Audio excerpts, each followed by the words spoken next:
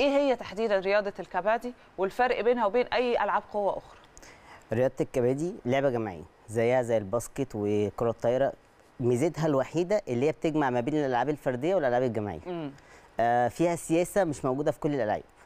انت إيه السبعة اللي واقفين بيلعبوا كلهم بيحاموا على لو هو على ال wing اليمين كله بيحامي على ال wing اليمين لو على ال wing الشمال كله بيحامي على ال wing الشمال.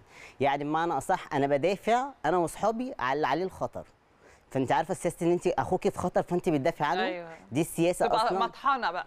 بعيد عن مطحنة لا انت بتحسي إن انت خايفة على زميلك. في أيوة، ألعاب فاهمة في. آه، أنانية شوية اللي هو يقول لك إيه أنا رياضة برضو عنيفة. يعني أنا بشوف أنا اتفرجت على كذا جيم لا يعني هي عنيفة، فيها لا هي.